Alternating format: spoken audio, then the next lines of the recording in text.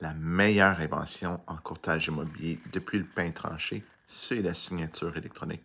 Motadine que ça nous fait sauver du temps et que ça rend le processus de négociation facile.